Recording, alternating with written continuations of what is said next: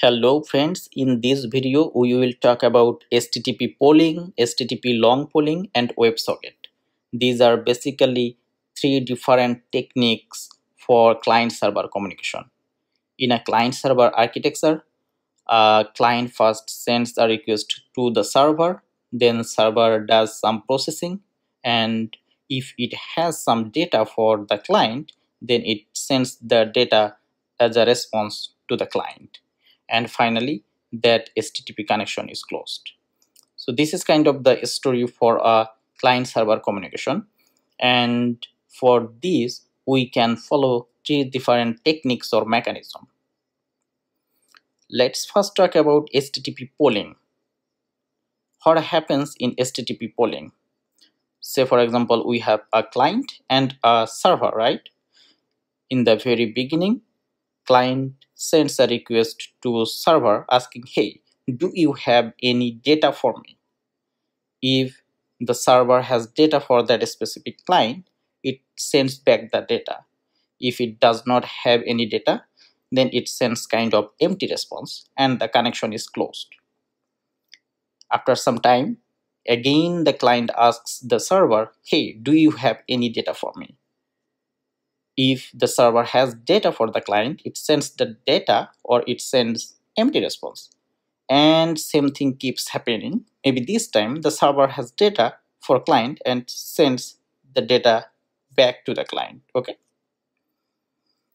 So in http polling client basically sends regular http requests at a fixed interval to the server.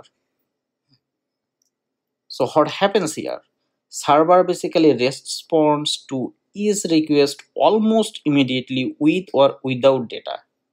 If the server has any data for the client, it sends them as response. If the server does not have any data, it just returns immediately, no, I don't have any data for you. What happens here? As a result, the client actually keeps calling the server and we make a lot of unnecessary network traffic, right? And what is the good side here? The good side is it's easy to implement. Basically, these are simple uh, HTTP request implementation. Now let's take a look into HTTP long polling. In HTTP long polling, client sends a regular HTTP request just like HTTP polling, right? But the difference is server holds the request open until new data arrives or timeout occurs. So here actually server does not send an immediate empty response. Rather server actually waits for data to arrive. As soon as data arrives for that specific client, server returns the response. So you still need to open new connections for each request. This is kind of the difference between http polling and long polling. Let's try to understand the thing with animation. The first thing is like client is sending a request to server. Rather than immediately returning an response when we don't have any data server actually keeps waiting so for example it's waiting for one minute two minute 3 minute 4 minute and finally some data arrived for that specific client. And server sends the response back to client and that connection is closed. Again client requests a new data by opening a new connection. And this time also server keeps opening. Say for example it waits for like two seconds or two minutes whatever then finally, when it gets some data for that specific client, it sends the data back to that customer and that connection is closed. So the main difference from HTTP polling and HTTP long polling is that server keeps waiting a little bit longer until it receives a new data for the client or it timeout where can we use this? So this setup is good where we need near real-time data. It's not exactly real time but close to real time as soon as data arrives we send back to customer or client.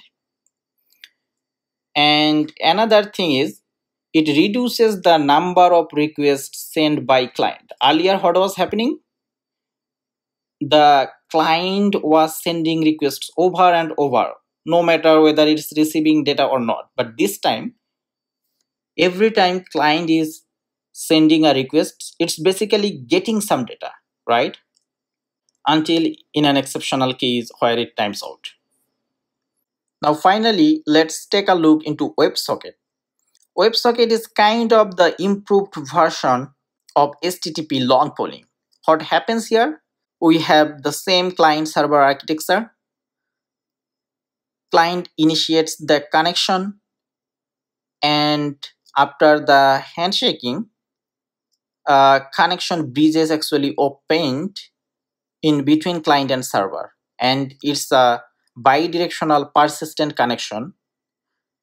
It's like a channel in between client and server or we can call a highway where data can like travel both ways and if any of the client or server explicitly closes the channel, the connections terminated. This is a bidirectional full duplex communication. It's a persistent connection that remains open for the communication session unless closed explicitly. Where can we use this? We can use in systems basically where we need real-time data like Facebook Messenger WhatsApp, trading platform, real-time gaming dashboard, something like this. So the actual thing is, as soon as some data arrives here, the connection is always open in between client and server and it sends back the response to customer something like this, right? So the connection actually never gets closed unless explicitly someone closes it. And whenever any data arrives to server it just sends that back to client. And this way basically we reduce the number of requests which were being sent from client to server earlier to one.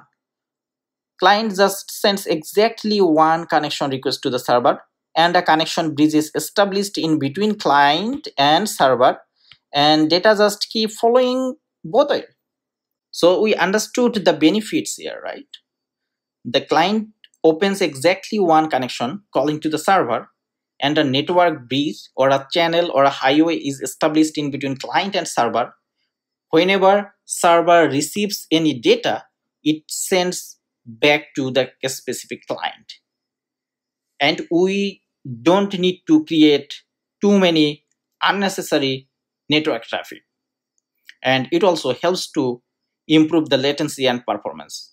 So that's the benefit of WebSocket. But another thing is like it's complex to implement, right?